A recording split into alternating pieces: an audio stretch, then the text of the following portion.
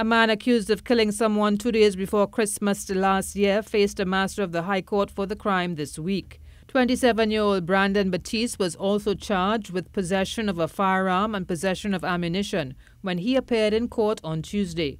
According to a police report, Baptiste, who hails from Mayaro, shot another man, Renaldo Jimenez, who was walking along a road in the district on Saturday, 23 December 2023.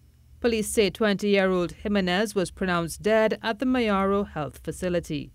Baptiste was arrested on Wednesday, January 17, 2024.